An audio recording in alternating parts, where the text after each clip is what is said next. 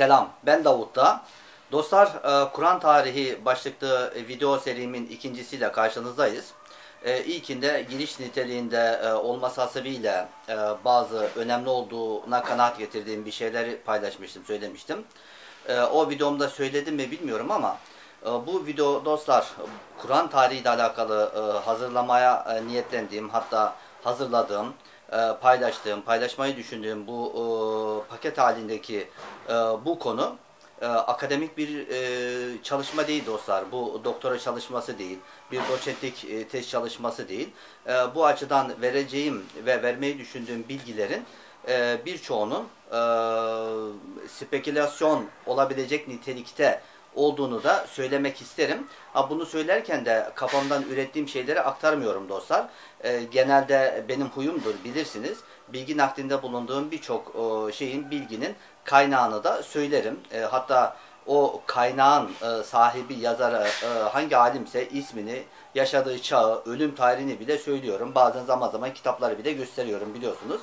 Bütün bunlar kitaplardan alıntılar, alıntı yapılarak aktarılan bilgilerdir. Ha şunu da söyleyeyim bu kadar muazzam bir e, konunun 20-30 e, bölümlük e, işte her bölüm 10-15 dakikadan ibaret bir e, videolar ile anlatılacak e, kadar basit ve kısa olmadığını da bilmenizi isterim. Çünkü öyle e, konular var ki Kur'an tarihiyle alakalı e, mevzudan bahsediyorum dostlar. E, yüzlerce, yüzlerce bile kitap yazılacak kadar abartmıyorum dostlar. Çok geniş bir e, şeyi var dostlar. Yelpazesi var. Hal böyle olunca da benim burada e, çekmeyi düşündüğüm hesaplarıma göre e, 30 kadar program olacak gibi duruyor dostlar. E, ve mümkün mertebe kısaltmaya çalışarak ancak 30 e, bölümlük bir video haline getireceğim gibi duruyor. Yaptığım hesaplar az da olabilir, çok da olabilir tabii, tabii ki dostlar. 30 olması gerekmiyor. Şimdi e, ne kadar kısaltmaya çalışsak da mevzunun e, çok önemli olduğunu, daha doğrusu çok çok geniş olduğunu e, bildiğimi de bilmenizi isterim dostlar. E, her zaman da söylüyoruz son sözü söyleyen kişi biz değiliz. Hal böyle olunca da e, aktarmış olduğumuz bilgilerin birçoğunun da göreceli olduğunu bilmenizi isteriz ama ne kadar göreceli olsa da e, Kur'an tarihinin daha doğrusu Mushaf'ın tarihinin de böyle bir tarihi geçmişi var dostlar. Bunu da bilmek lazım. Çünkü bu kitabı insanlar Allah'ın eliyle e, insanlara e, ulaştırılan bir e, metin olmadığını bilirler. Yani Allah al kulum bunları oku diyerek bize vermedi. Veya peygamber mezardan çıkıp da bize bunu aktarmadı. Veya Allah'ın emriyle melekler gelerek bize bu musafı teslim etmediler. Bunu hepimiz biliyoruz. Öyle değil mi dostlar? Bu inkarı mümkün olmayan bir gerçekliktir. Neyse lafı fazla uzatmayalım dostlar. E, bu videomda e, yan başlığı görüyorsunuz dostlar. E, Kur'an tarihinde kullanılan kaynaklardan biraz bahsetmek istiyorum. Şimdi e, meselenin e, şey olarak e, toplu bir şekilde e, zihinlerde e, tablonun tam görülebilmesi için, anlaşılabilmesi için e, şunun şu hususların bilinmesi gerekiyor dostlar. E, tarihi bir vaka hakkında bilgi sahibi olmak için bazen hasaten o tarihi vakayı anlatan metinlerden, çalışmalardan istifade edebiliriz. Bazen de hasaten o mevzudan bahsetmeyen ama başka bir e, kaynakta e, bir vesileyle o olaya, e, o vakaya temas eden metinlerden de istifade ederiz dostlar. Diyelim ki Osmanlı tarihini anlatan bir eser okuyacaksınız. Hasreten Osmanlı tarihini e, anlatan metinler okuyabilirsiniz ki okumanız gerekir. Ama bunun dışında diyelim ki e, Avrupa tarihini okuyorsunuz. Avrupa tarihini okurken de Osmanlı tarihiyle alakalı bir şeyleri okumanız gerekecek. Çünkü Avrupa tarihini okuduğumuzda Osmanlı'nın da Avrupa ile alakalı bazı iletişimlerinin e, değil mi? Savaşlardı, barıştı, şuydu, buydu, her neyse ticari ilişkilerdi. E, Birçok sebepler var. E, onlarla alakalı da bir şeyleri e, okumanız gerekecek. Bu şekilde de e, Avrupa tarihi üzerinden de Osmanlı tarihi ile alakalı bazı bilgilere ulaşabilirsiniz. Ulaşabiliriz. Tarihçilik böyle bir e, disiplin olsa gerek dostlar. E, hiçbirimiz o tarihi vakalar yaşanırken orada bulunan e, ve o tarihi olayı e, raptu zapt altına alan vakanüvisler değiliz o, o tarihi yaşayan o ulusların çocukları değiliz. O zaman da yaşayan insanlar olmadığımız için biz o bilgileri nerelerden edineceğiz? Kaynaklardan, özellikle de kitaplardan. Öyle değil mi dostlar? Şimdi dostlar laf fazla uzatmadan Kur'an'ın daha doğrusu Musaf diyelim dostlar biz ona. Kur'an diyoruz ama Kur'an denilince çok da geniş bir yelpaze akla gelir. Bununla alakalı bir şeyler söylediğimi hatırlıyorum ben değişik videolarımda. E, biz yine de e, Kur'an derken Musaf'ı kastettiğimi de bilmenizi isterim dostlar. Elimize mevcut olan yaklaşık 600 sayfada mürekkep olan Musaf'ı kastediyorum dostlar. O Musaf'ın elimize kadar nasıl geldiğiyle alakalı yani metinleşme tarihiyle alakalı e, tarihçesine baktığımızda bize o metnin tarihi e, hakkında bilgi sunan birçok kaynağın olduğunu görmekteyiz. Yani bu atıyorum 13 asırdır işte İslam alimlerinin bir kısmı işte her dönemde, her çağda her 10-20 yılda bir işte Musaf'ın tarihini yazalım da e, ümmette bundan istifade etsin diyerek bir Musaf tarihi yazılmadı dostlar. Böyle bir e, çalışma yok onu biliyoruz. Yok derken Kur'an'ın tarihiyle alakalı hiçbir bilgi sunulmadı anlamında değil. Yani böyle niyetle yazılmış olan ve 13-14 asırdır günümüze kadar intikal etmiş olan kitap çalışmaları yok anlamında söylüyorum.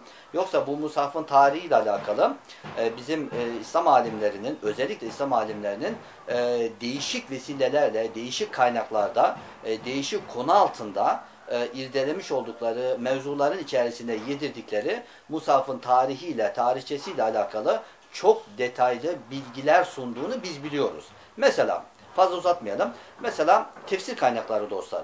İlk dönemden e, günümüze kadar değişik vesilelerle dirayet tefsiri olabilir, rivayet tefsiri olabilir, işari tefsiri olabilir, tasavvufi tefsiri olabilir, e, ahkam ayetleriyle alakalı tefsirler olabilir. Birçok e, farklı türden tefsir türleri var biliyorsunuz dostlar.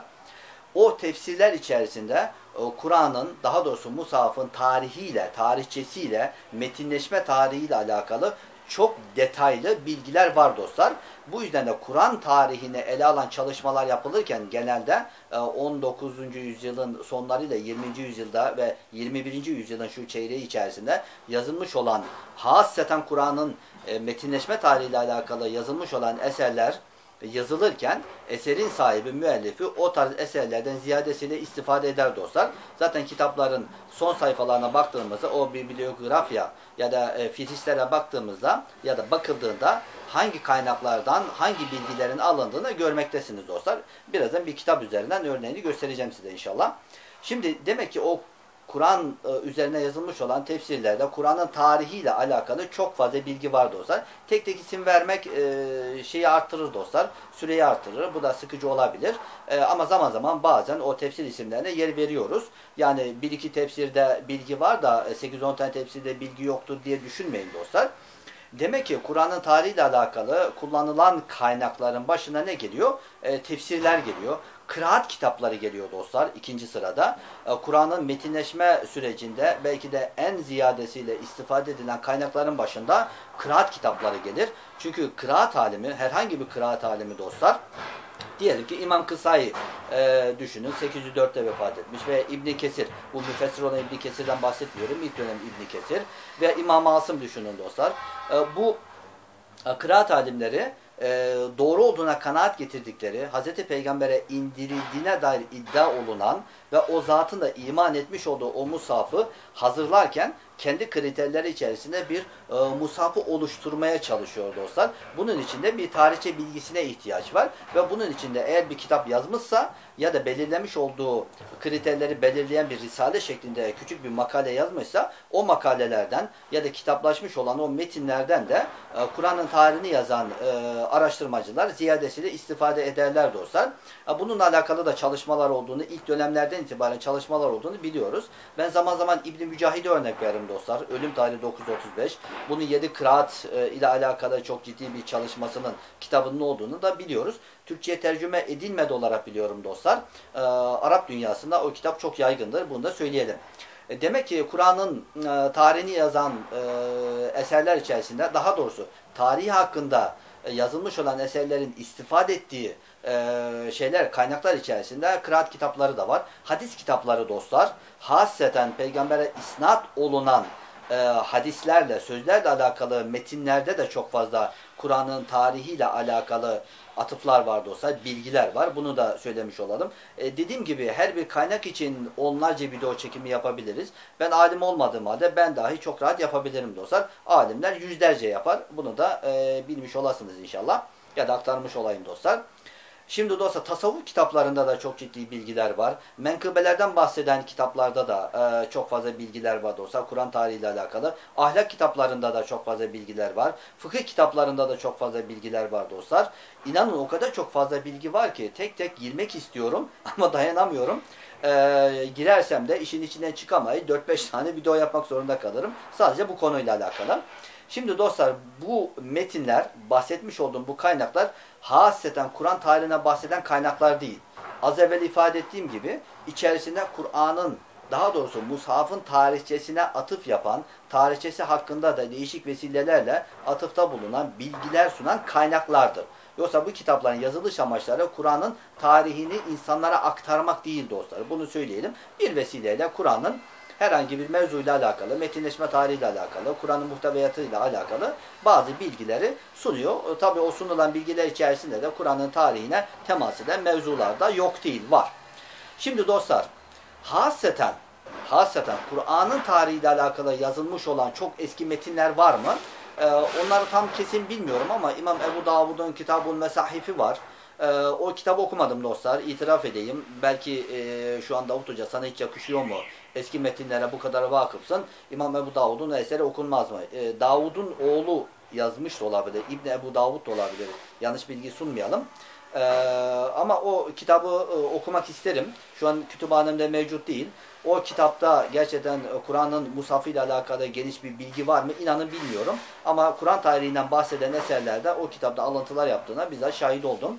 Şimdi dostlar Kur'an'ın tarihiyle alakalı bilgi alıntısı yapılan kaynakların başında bir de Ulumul Kur'an başlığı altında yazılmış olan e, eserler de var. Yani Kur'an ilimleri.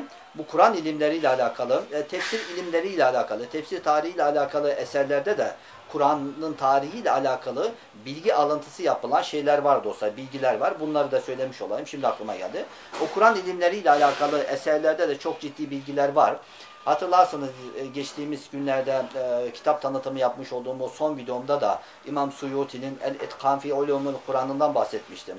İmam Zerkeşi'nin e, İmam Suyuti'nin önceki asırda yaşamış olan İmam Zerkeşi'nin El-Burhan fi Ulumul Kur'an isimli eseri var. İmam Zurkani'nin Kur'an ilimleriyle alakalı çalışmaları var. 20. asırda değişik alimlerin yazmış oldukları Kur'an ilimleriyle alakalı çalışmalar var. Mesela e, Menna Halil el-Katta'nın e, Kur'an ilimleri var. E, Subhi Es-Salih'in Kur'an ilimleri var. E, Türkiye'de e, değişik hocalarımızın Kur'an ilimleriyle alakalı çalışmaları var. Bunları söylemiş olalım dostlar. Bu çalışmalar içerisinde de e, Mushaf'ın tarihiyle, tarihçesiyle alakalı çok detaylı bilgiler var dostlar. Bunu söylemiş olalım. Bir vesileyle temas ediliyor. Şimdi dostlar hasreten Kur'an tarihiyle alakalı yapılan çalışmalardan e, bahsetmek isteriz. Bildiğim kadarıyla 19. asrın sonlarına doğru, ikinci yarısından itibaren müsteşrik olarak bilinen yani doğucular, yani oryantalistlerin de yani batılı araştırmacılar, İslam hakkında araştırma yapan batılı bilim insanlarının da İslam hakkında, İslam medeniyeti hakkında, folklore hakkında, ulusları hakkında, peygamber hakkında, İslam ahlak anlayışı hakkında ve hasreten Kur'an hakkında da yapmış oldukları çalışmalar var. Bunların birçoğu İslam dünyası tarafından menfi kabul edilir. Birçoğu müsbet kabul edilir. Kabul eden olur. İşte onları sapıkça gören olur. Olmayan olur. Neyse bunlar ilmi konular dostlar. Ee, laf ebeli yapmak istemiyorum ama çok ciddi çalışmalar olduğunu biliyorum. Ben birçoğunu okudum. Godzer'in mesela ciddi çalışmaların olduğunu biliyorum. Nöldek'in Kur'an tarihiyle alakalı çalışmasının okunulmasını kesinlikle salık veririm. Bunun yanında Montgomery Watt'ın çalışmaları var. Şu an aklıma gelmiyor. Bazı zatların da Kur'an çalışmalarıyla alakalı Kur'an tarihiyle alakalı çalışmaların olduğunu biliyoruz. Avrupa'nın değişik üniversitelerinde veya değişik e, ülkelerinde e, bir vesileyle yayınlanmış olan e, İslam tarihi, Kur'an tarihi, peygamber tarihi ile alakalı makaleler olduğunu da biliyoruz. Bu zatlar zaten bu bilgileri e, naklederken, e, bu eserleri yazarken İslami kaynaklardan istifade ederek e, yazıyorlar dostlar. Bunu söylemiş olalım. Zaman zaman kendi yorumları e, çerçevesinde e, yani Müslümanların pek kabul etmeyeceği yargılarda bulunsalar da olur o kadarlık. O kadarlık hata gadı kızında da olur hesabım. Bunu da görmemesinden gelmek lazım dostlar. Eleştirecekse de alimlerimiz buyursun eleştirsinler. Elimizde sopa insanları e, dövmeye yeltenmeyelim, hakaret etmeyelim dostlar. İlim erbabı insanlar bir şeyler biliyorlar. E, adama sopa sallayacağına kendini geliştir, verebiliyorsan cevabını ver. Adam o bilgileri senin kaynaklarından alıyor. Bu yüzden de biraz da terbiyeli olmak lazım gelir diye düşünüyoruz. Yani dostlar Kur'an tarihi adı altında yazılmış olan hasreten bu konuyu ele alan ciddi çalışmalar e, Avrupa'da başlatıldı. Hem de ciddi olarak başlatıldı. E, İslam dünyası da tabii boş durmadı. O bahsetmiş olduğum kaynaklarda Kur'an tarihiyle alakalı çalışmalar vardı ama İslam dünyası hasreten asırlardır Kur'an tarihi, Musaf tarihi konusunda e, bütün İslam dünyasında özel çalışmalar e, olmadığını da biliyoruz. Bunu söylemiş olalım. Varsa da benim haberim yok dostlar. Bilgisi olan varsa lütfen e, benimle o bilgiyi paylaşsın. Şimdi dostlar İslam dünyası yaklaşık 100 küsür yıl içerisinde Kur'an tarihiyle alakalı çok ciddi e, eserler yayınladı. Mesela Osmanlı'nın son dönem alimlerinden Mecelle'nin de e, hazır e, Mecelle'yi hazırlayan o 15-16 kişilik heyetin başında bulunan o büyük İslam tarihçisi, hukukçusu Ahmet Cevdet Paşa'nın Hulasatül Beyan diye bir e, bildiğim kadarıyla öyle başlıyordu. 25-30 sayfalık bir risale şeklinde Kur'an tarihi kitabı vardı. Bir savunmadır dostlar. E, bazı müsteşriklere yönelik e, bir savunma e, kitap olarak, kitapçı olarak biliyorum ben. Şimdi birazdan ben Kur'an tarihiyle alakalı yazılmış olan bazı kitaplara yer vereceğim dostlar. Laf fazla uzatmadan. Hatta hemen geçeyim. Yani böyle bir e, Ahmet Cevdet Paşa ile bu süreç başladı anlamında söylüyorum. O dönemlerde yine e, yazılmış olan bazı Osmanlı ulemasının yazmış olduğu çalışmalar var. Onların da birçoğu şu an okuyacağım kitap içerisinde, e, göstereceğim kitap içerisinde mevcut dostlar. Elimde dostlar Zeynel Abidin Aydın Hoca'nın e, Kur'an'ın metinleşme tarihi kitabı var. Bunu geçenlerde size tanıtmıştım kısaca. Bu da bir Kur'an tarihi kitabıdır dostlar. E, bu hocamızın e, kitabının 13 dostlar 13. sayfasında bir liste var dostlar. Burada başlıyor 14-15 devam ediyor. Birçok e, Kur'an tarihiyle alakalı yazılmış olan şeyler var. E, kitap isimleri var. Ben hemen bunlardan bazılarını okuyayım. Mesela Ahmet Cevdet Paşa'nın Hülasatül Beyan fi tevilin Fi Telifil Kur'an isimli çalışması. Musa Carullah 1949'da vefat eden Kazanlı alimlerdendir. Bunu birkaç kitabını ben tanıtmıştım dostlar. Kitab-ı Sünne gibi.